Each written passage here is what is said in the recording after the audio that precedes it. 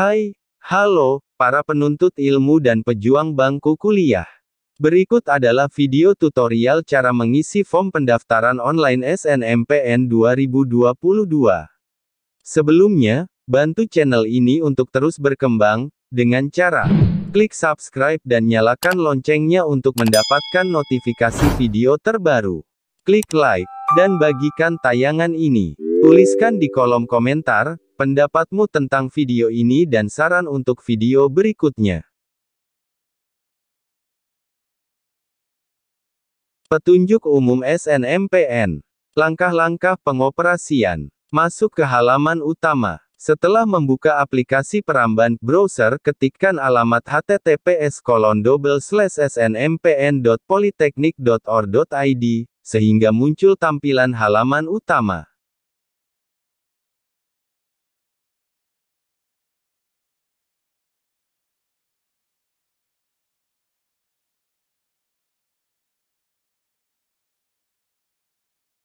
Masukkan username dan password yang telah diberikan oleh sekolah, kemudian klik tombol "Masuk".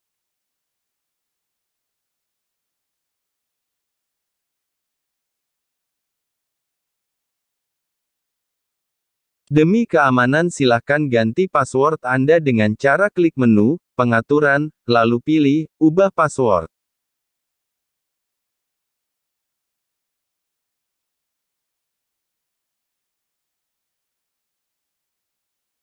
Isikan password lama dan password baru. Jangan lupa untuk memasukkan kembali password baru Anda pada kolom konfirmasi password.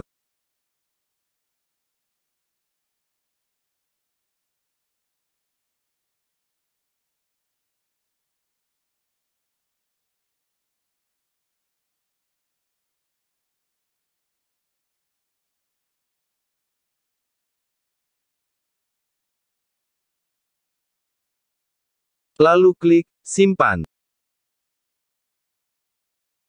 Kembali untuk memilih menu, papan petunjuk. Setelah Anda memilih menu ini akan muncul tampilan berikut.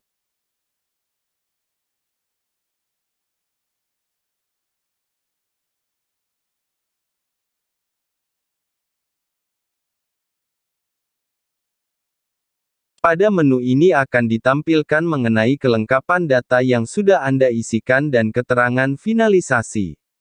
Selain itu, terdapat video tutorial pengisian SNMPN untuk siswa. Selesai. Biodata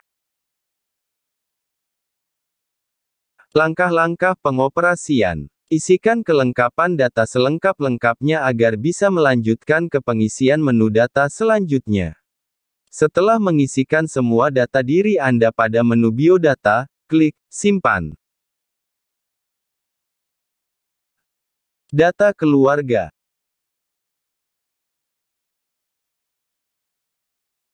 Langkah-langkah pengoperasian. Isikan data ayah terlebih dahulu. Lalu masukkan scan kartu keluarga dengan ukuran file maksimal 500 KB dalam format gambar JPG atau JPEG. Sedangkan untuk scan surat keterangan tidak mampu SKTM hanya diperuntukkan bagi keluarga dengan ekonomi lemah. SKTM dilampirkan dengan ukuran file minimal 100 KB dan maksimal 500 KB. Data ekonomi Langkah-langkah pengoperasian Isikan data ekonomi Anda. Data rapor.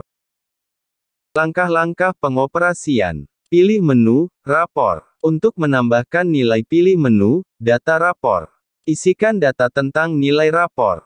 Lalu klik, tambah, maka data akan tersimpan.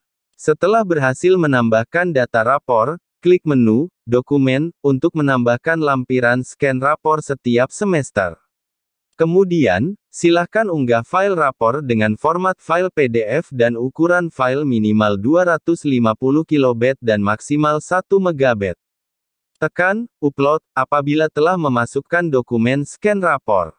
Untuk menghapus klik menu, hapus, dan pilih menu, ya, saya yakin. Data prestasi. Langkah-langkah pengoperasian. Klik menu, data prestasi. Klik tambah data prestasi untuk menambahkan prestasi Anda.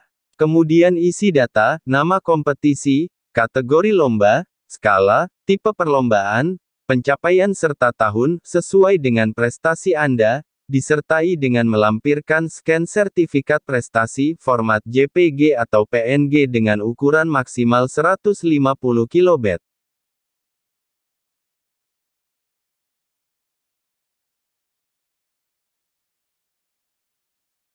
Pilih, tambah, maka data akan tersimpan. Silahkan menambahkan tiga prestasi terbaik yang dimiliki. Pilih menu, edit, untuk mengubah data prestasi. Pilih menu, hapus, untuk menghapus data. Pilihan Politeknik. Langkah-langkah pengoperasian. Pilih menu, pemilihan Politeknik.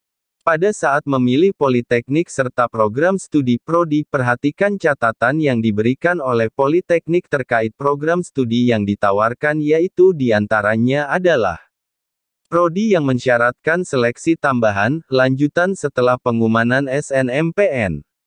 Prodi yang sedang berproses upgrade ke program sarjana terapan. Isikan pilihan Politeknik dan program studi. Catatan, tahun ini SNMPN hanya menerima pendaftaran untuk jenjang diploma 3. Jika tidak ada pilihan program studi yang muncul, berarti politeknik yang bersangkutan tidak menerima dari program studi asal jurusan Anda. Silahkan lihat kembali persyaratan untuk masing-masing program studi pilihan siswa. Klik "Selesaikan pilihan" untuk menyimpan data. Pilihkan, batalkan pilihan terakhir, untuk membatalkan pilihan.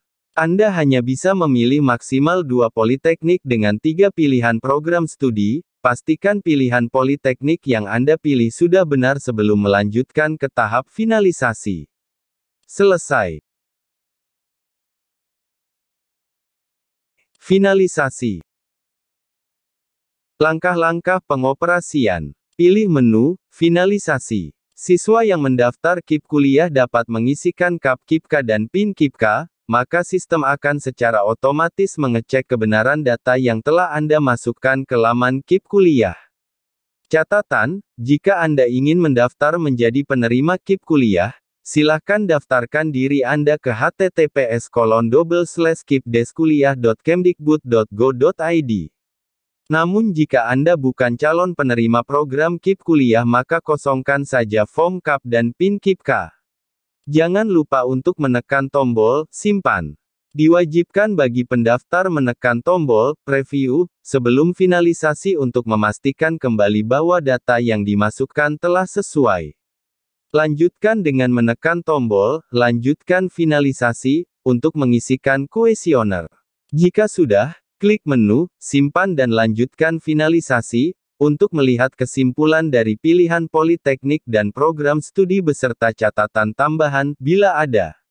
Seperti keterangan seleksi lanjutan tambahan maupun program studi yang sedang berproses untuk alih jenjang ke program sarjana terapan. Tekan tombol, ya, lanjutkan finalisasi, untuk melakukan finalisasi. Catatan, setelah Anda melakukan finalisasi, anda tidak dapat kembali melakukan perubahan data dengan alasan apa pun. Pastikan seluruh data yang Anda masukkan telah lengkap dan benar sebelum melakukan finalisasi. Jika Anda telah yakin dengan form yang telah Anda isi, maka finalisasi sekarang juga. Demikian. Semoga bermanfaat. Klik subscribe dan nyalakan loncengnya untuk mendapatkan notifikasi video terbaru. Klik like dan bagikan tayangan ini. Tuliskan di kolom komentar, pendapatmu tentang video ini dan saran untuk video berikutnya. Terima kasih. Sampai berjumpa di tayangan berikutnya.